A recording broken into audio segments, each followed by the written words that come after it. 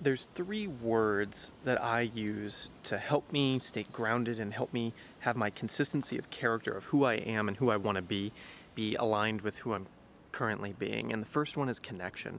And I learned this when I was maybe 18, 19 years old and I became a personal trainer after working with Eric and doing some part-time gigs like at Lifetime with rock climbing and front desk. And I learned this in a really interesting way I've always attracted these these clients over time that were like multimillionaire business owners and the thing that they always said was that they wish they had spent more time with family and less time on business and work although they had achieved so much um, material success. And I found that really interesting and I would you know over time would meet people that seemed to be extremely happy but had you know no material success and I was like there has to be some sort of middle ground. If there was a middle ground what would that have to look like to become a reality? And I began to seek that out. And over the years, I've found all different types of organizations and people like Mindvalley that teach things like that. And that's why connection is my number one because the thing that I saw all these materialistically wealthy people missing out on was the relationships in their life. It was usually that they hadn't spent enough time with their kids, their marriages had fallen apart, and they weren't close enough to their family. And over time, I began to see the type of people I was attracting was up leveling, and more and more so, they were more connected to their families, more connected to their children, although maybe still had some of those regrets in their life. And the second word I use is abundance, and that kind of goes hand in hand with the same lesson. And I learned that this lesson was called environmental happiness, or at least that's what I'm titling it, which I'm sure I'm going to create some sort of a course, some sort of a thing. It's definitely in the book that I'm writing, which is called The Most Beautiful Question, MBQ. And it's a formula that I learned from these people that allowed them to achieve such insane levels of material success and I was wondering could you use the same formula that they were using to achieve the intrinsic, the spiritual, the happiness level of success, the non-materialistic, the spiritual success.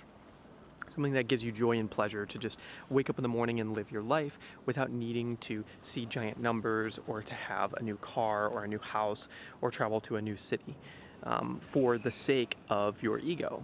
Um, could it be something greater? Could it be something more? And that's what I've been using this formula for. And the formula is really simple.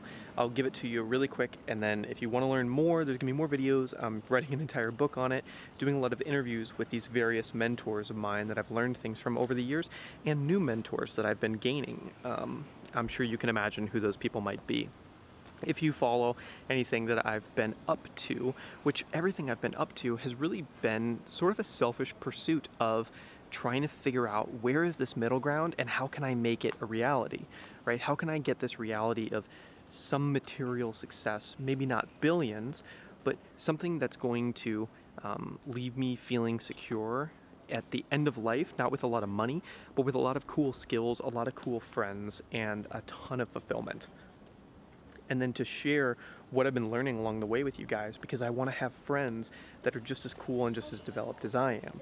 So everything that I learn, I want to make sure I put it out to you guys and then hopefully from this can make the coolest friends in the world because that's how social media and connection works these days.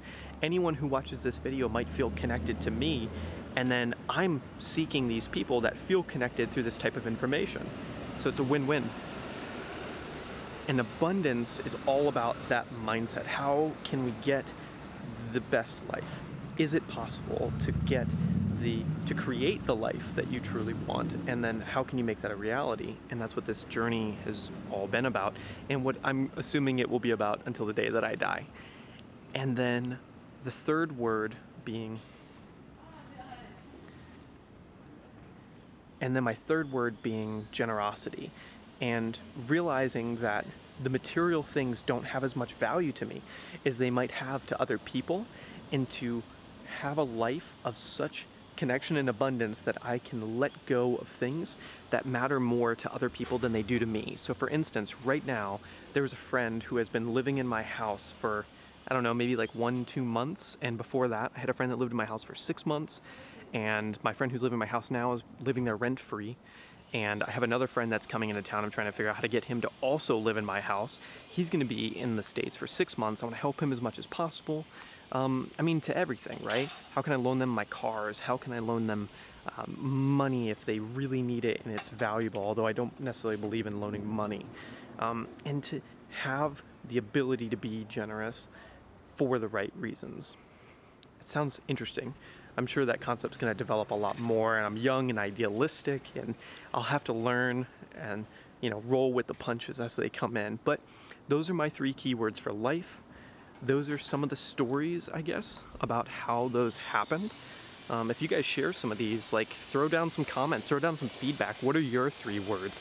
How do you ground yourself on a day-to-day -day basis when you are faced with the everlasting race of life as long as we're alive? It's really interesting. Quick addition, you guys there are a bunch of other topics that I want to start covering in these little vlogs and in these experts excerpts of me traveling. And I want to know, did you guys like this? Would you like it to be more dynamic or do you like it when it's like handheld, steady, all in one clip, one go? Or would it be cool if there was like a studio setup or would it be cooler if I like showed it and did the stories, like little short films? What sounds interesting to you guys? I really want to know and I want to make it happen so that you can learn and you can be entertained and this will help lots of other people because I know you guys know who I am, so of course you're to watch because you're good friends. I want to know what's going to get your friends to watch and what's going to help them up level their life and how can I contribute to them through this medium of doing videos and sharing little tiny, tiny bits of wisdom that I maybe have garnered throughout life.